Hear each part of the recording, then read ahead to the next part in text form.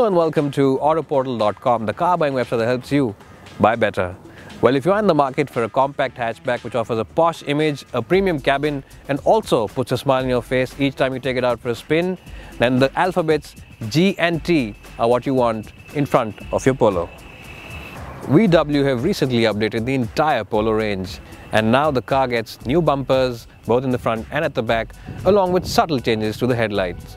You get a lot of chrome now up front. While the Polo has always been a very premium looking car, it looks more upmarket and posh than ever before. Well, the Polo's always had one of the biggest boots in this category and it's no different on the GT version of the car. As you can see, it's a really well-shaped boot. It's very square in nature. There's a bit of a loading lip, but it should not be too much of a problem. Because it is so well-shaped, you can generally put in that heavy luggage into it. Well, and if you want to improve the boot capacity even further, you can drop the backrest down. Well, you can remove the bench of the rear seats and that means that the backrest falls completely flat giving you an almost flat loading. There's a small lip, but it should not be too much of a problem because you get such a huge loading capacity. Well, just like the exterior, the interiors of the Polo GT have been given a subtle update. Well, now the new Polo GT comes in an all black cabin and it feels a lot more sporty than the beige which came in the earlier car. Now the Polo GT doesn't feel like a middle-aged man's car like the earlier version which came with that beige interior and also it will not soil rather easily like the older car did. Well like the earlier Polo this cabin really is very well put together and it really has the best quality of materials. In fact I will stretch my neck out and say that the Polo has the best interior in terms of quality of materials used on any small car in the Indian market. Well all the switches really have a nice and tactile feel on them and not only is the upper part of the dashboard solidly put together and has fantastic materials. Even the lower end of the dashboard really does have faultless materials used. Well, the GT really is the top end version of this kind. It comes completely loaded. You of course get Bluetooth connectivity for your telephone. You get uh, an auxiliary port, a USB port, as well as an SD card slot for your music. And uh, the steering wheel adjusts for reach as well as for rake.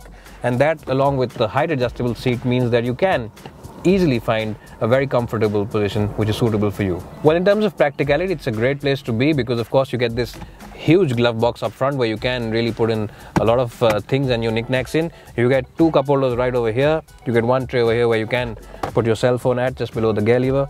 There's also a small uh, cup holder at the back for the passenger at the back. And uh, the door bins are generally big enough to house those one liter bottles in. So in terms of practicality, a great place to be in the front seats of the Polo GT TSI. Well, so here I am in the back seat of the Polo GT TSI and just like the regular version of the car, it has the same amount of headroom which is adequate and same amount of knee room which is again just about adequate and uh, you do get place to keep your feet at below the front seats the seats themselves are pretty comfortable and they offer good cushioning and the backrest angle is really very good.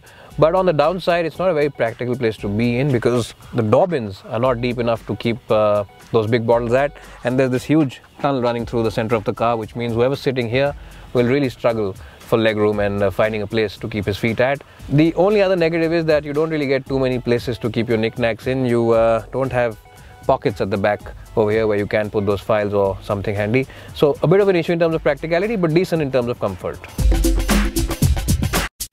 Well, so here I am driving the Polo GT TSI.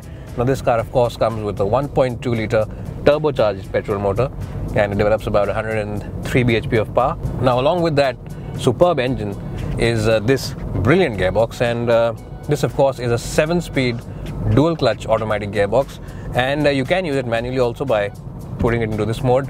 Well, if I use the word superb and brilliant too much in this video review, I apologize for that. But this car, this engine and this gearbox truly is brilliant.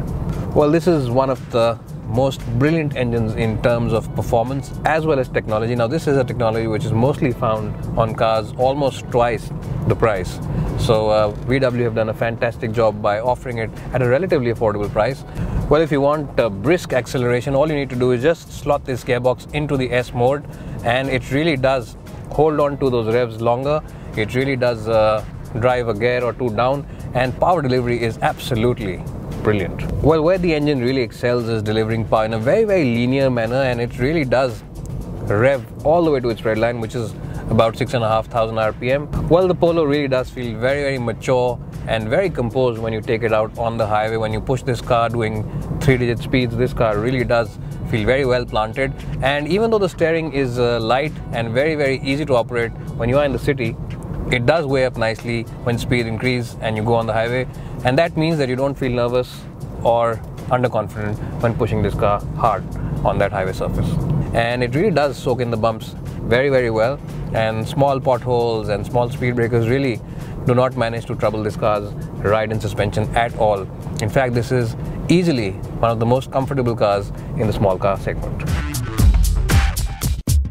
Well, normally in my video reviews, I don't talk about the price because they keep changing from time to time and also vary from city to city. But I will make an exception for the Polo GT TSI.